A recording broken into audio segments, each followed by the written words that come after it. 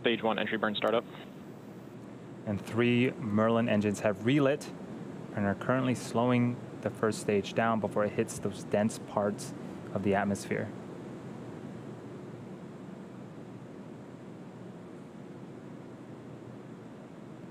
Second stage on the right hand side of your screen is continuing to perform as expected.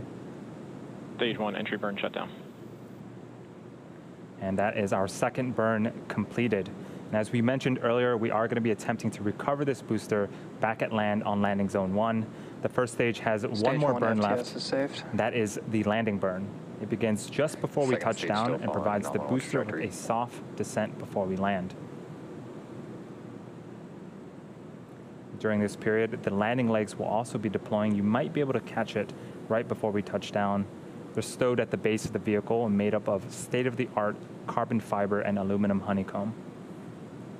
Stage one transonic.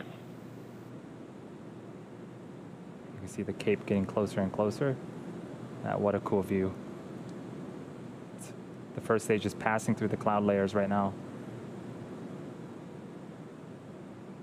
Stage one landing burn startup. And here comes Falcon 9 attempting its fourth landing.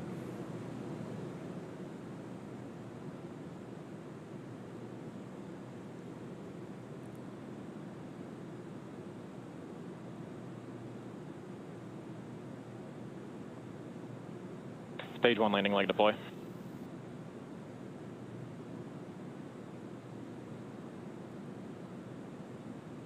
And you could not ask Stage for a better burn. landing than that. Falcon 9 has landed once again. That is number four for this first stage booster and the 58th overall of an orbital class rocket. What a way to start off tonight's mission.